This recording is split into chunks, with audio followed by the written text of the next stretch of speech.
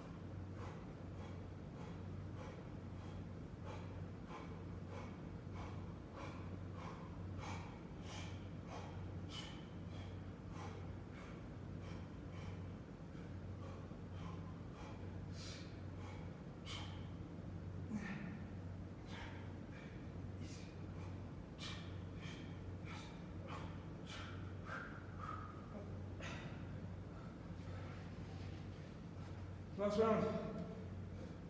I think you're good.